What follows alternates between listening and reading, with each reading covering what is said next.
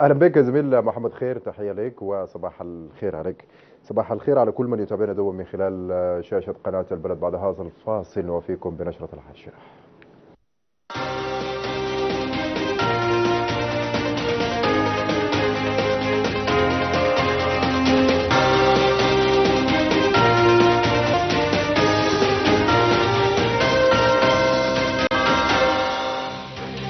أهلا بكم. استقبل السفير علي الصادق علي وزير الخارجية المكلف أمس السيد أيدن أوهارا سفير الاتحاد الأوروبي الجديد لدى السودان وتسلم منه نسخة من أوراق اعتماده. وناقش علي الصادق مع سفير التحديات التي يمر بها الانتقال الديمقراطي في البلاد والدور المتوقع للاتحاد الأوروبي في تحقيق التوافق الوطني والدفع لتكوين حكومة مدنية تتولى تكملة الفترة الانتقالية وتقود البلاد إلى الانتخابات العامة.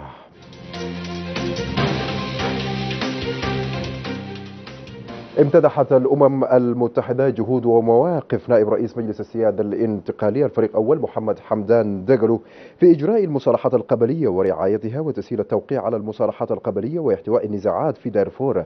وذكر تقرير مجلس الأمن حول الحالة. في السودان وأنشطة بعثة الأمم المتحدة المتكاملة لتقديم المساعدة خلال الفترة الانتقالية ورعاية نائب رئيس مجلس السيادة عدة اتفاقيات سلام وإجراء مصالحات بين زعماء القبائل عقب أحداث دامية في إقليم دارفور لمعالجة مشكلة العنف الواسع النطاق بين القبائل.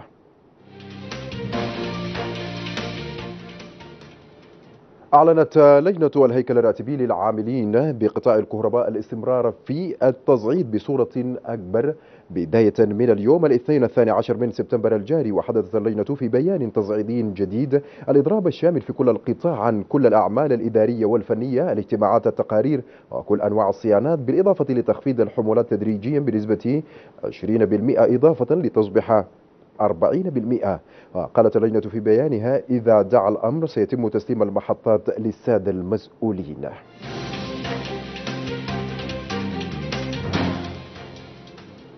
كشفت الإدارة العامة للطوارئ الصحية بولاية الجزيرة في تقريرها لإجتماع اللجنة الفنية لطوارئ الخريف الصحية الذي التأم صباح أمس برئاسة الدكتور طارق عباس العجوة مدير الإدارة العامة للطلب العلاجي للطب العلاجي عن تأثر 671 قرية بالسيول والأمطار وانهيار 8491 منزلا كليا و22 و118 جزئيا وانهيار 33 مرفقا حكوميا ونفوق 36 رأسا من الماشية ووفاة 18 مواطنا. وأشار التقرير لترحيل 800 و 98 أسرة لمعسكرات الإيواء وتنظيم حملات رش رزازي في 15 من الأحياء وتبزيع 29 و900 ناموسية وكلورة و721 مصدر مياه داخل الشبكة. دشنت مبادرة مركز الملك سلمان للإغاثة والأعمال الإنسانية أمس بمقر مفوضية العون الإنساني مشروع المساهمة في سد الفجوة الغذائية للأسر تحت الفقر في السودان بالتنسيق مع مفوضية العون الإنساني وامتدح مفوض العون الإنساني دكتور نجم الدين موسى عبد الكريم جهود خادم الحرمين الشريفين الملك سلمان ووقوفه دعمه للسودان في المجالات كافة. وأشاد بمركز الملك سلمان للأدوار التي ظل يقوم بها تجاه السودان معبرا عن شكره وتقديره للمملكة العربية السعودية ووقوفها قيادة وشعبا مع الشعب السوداني عبر مبادرة سد الفجوة الغذائية بالسودان أوصى والي الشمالية المكلف الأستاذ الباقر في معبر أرجين الحدودي لمدة ثلاثة أشهر بغرض التأهيل والصيانة للمعبر خاصة وأن الوضع الحالي للمعبر متردي. وقال الوالي في اجتماعه مع رئيس هيئة الجمارك السودانية الفريق بشير الطاهر ومدير الشركة السودانية للموارد المعدنية مبارك أردول وممثل وزارة النقل خلال زيارتهم لمدينة وادي حلفة بالولاية الشمالية أن المعابر ترفد خزينة الدولة بالمليارات يوميا مطالبا الجهات المعنية بتأهيل المعبر الذي يعتبر إحدى واجهات الولاية الشمالية.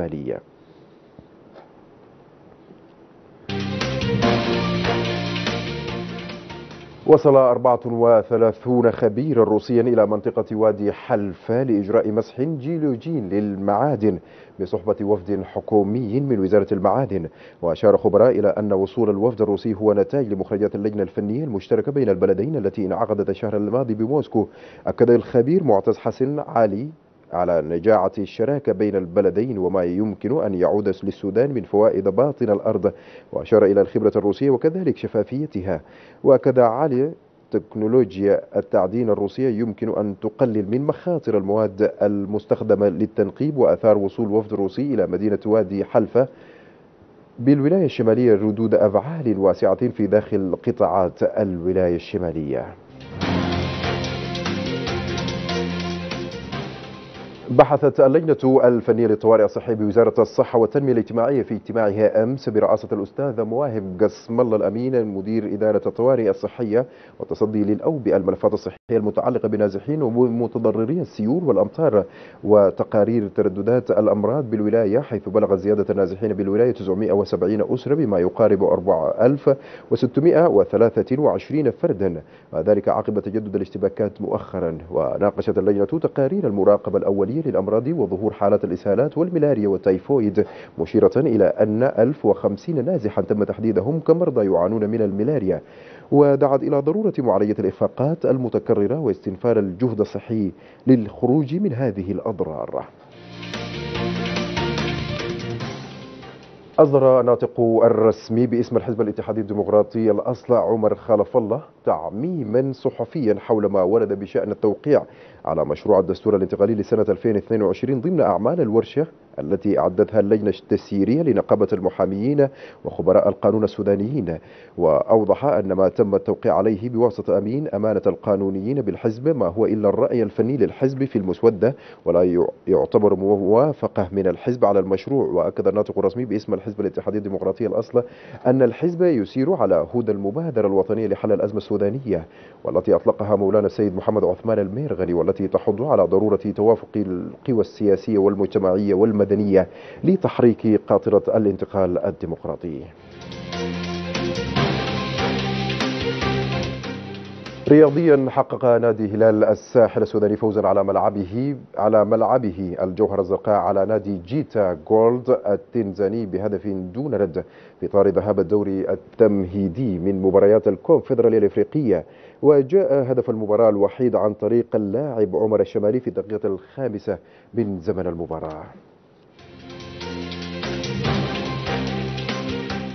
قلب نادي المريخ تأخره للفوز بهدفين مقابل هدف أمام آرتا سولار الجيبوتي في ذهاب تمهيدي أبطال إفريقيا أمس الأحد. كان المريخ قد استقبلت مرماه هدفا في الدقيقة الثامنة قبل أن يدرك الأحمر التعادل ويسجل الهدف الثاني قبل نهاية المباراة بدقيقة.